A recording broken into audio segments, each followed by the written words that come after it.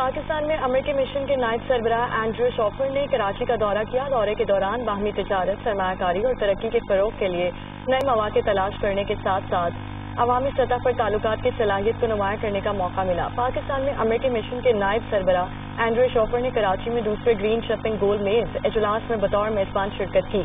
Green shipping गोल मेज मुबाशरे का अहतमाम अमरीकी एजेंसी ब्राय बैन अवी तरक्की की जानब से किया गया था, जिसमें पाकिस्तान में माहौल दोस्त और पायदार जहाज़ रानी को फरोग देने पर गुफ्तु हुई।